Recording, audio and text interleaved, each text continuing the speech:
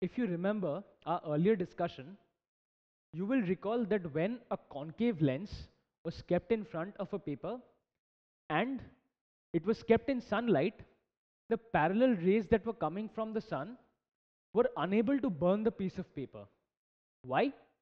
Let us look at the animation and find out. Over here, we have considered the sun, which is an object at infinity that is very far away, and we have considered the parallel rays of light that are incident on the concave lens from the sun. Now notice after refraction, these parallel rays of light are diverging. They are not meeting at any point on the principal axis. However, these rays of light are appearing to be diverging from a point that is on the same side as that of the object. Or in other words, the diverged refracted rays seem to be coming from a point behind the lens. So what can we say about the image that is formed by an object at infinity? We can say that when the object is placed at infinity, the image is being formed at the focus, that is at f1. And as you can see, these parallel rays are getting diverged but seem to be coming from a point. So the nature of this virtual image is highly diminished. It is highly diminished. Now let us see what happens if we keep the object anywhere else. That is, if we bring the object closer. You will be interested to learn that if an object is brought closer to the concave lens, irrespective of where it is kept, that is, anywhere in between the lens at infinity, if the object is kept, the image is formed at more or less the same place. Let us consider this situation where the object has been placed beyond 2f1. Now we consider two rays, a ray that is parallel to the principal axis. After refraction, it appears to be coming from the focus, that is f1, and a ray incident at the optical center. After refraction, it is passing through without any refraction. So what is happening? These rays are not meeting at any point. Instead, they seem to be intersecting at a point on the same side as that of the object. So what can we say about the image? We find that the refracted ray and the ray that passed through without any refraction are appearing to meet at this point if we extrapolate the refracted ray. So what can we say about the image? We can say if the object is placed anywhere except infinity, the image is always formed in between the focus and the optical center.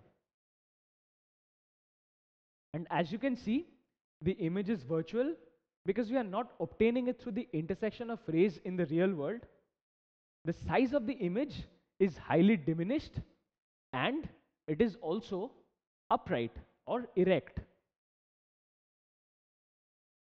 Now if we consider a different scenario where the object is placed in between f1 and 2f1, we will find that the image is formed again in between the optical center and f1. That is, if we consider two rays, one that is parallel to the principal axis, after refraction, it appears to be diverging from the focus. And we consider another ray that is incident at the optical center, which passes through without any deviation or refraction. So in this case also, when the object is anywhere else except infinity, in this case between 2f1 and f1, the image that is being obtained is between focus and optical center. And also the image is virtual because we are not obtaining the image through the intersection of these rays in the real world. The image is upright as you can see and the size of the image is diminished.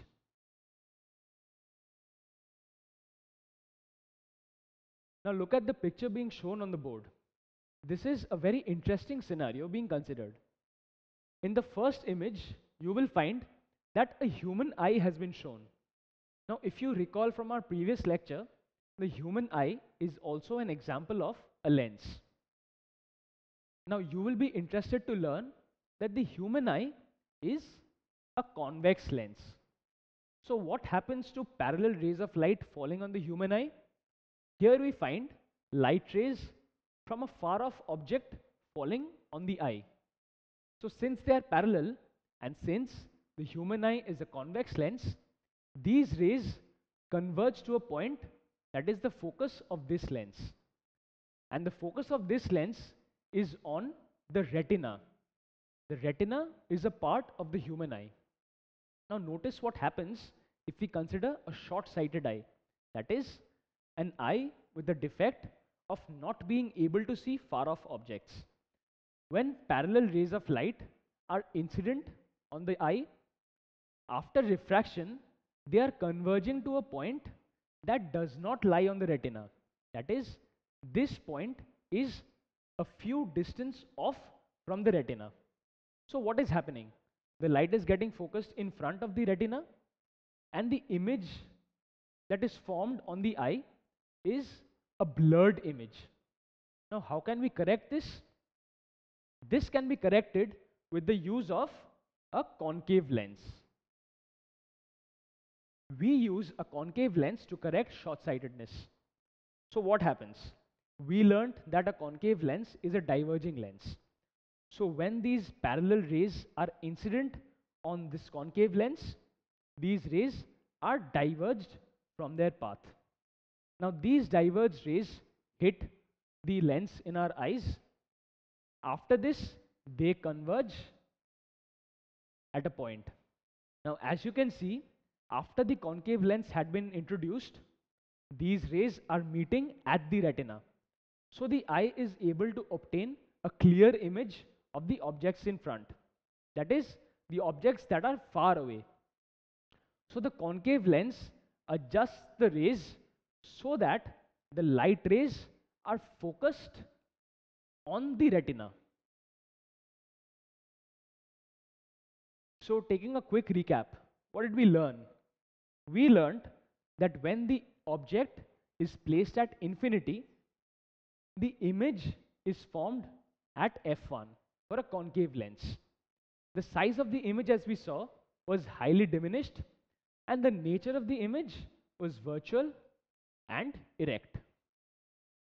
Further, we saw that if the object is placed anywhere in between infinity and the optical center, the image that was obtained was always between the optical center and f1. We also saw that the size of the image was diminished and the nature of the image remained virtual and erect.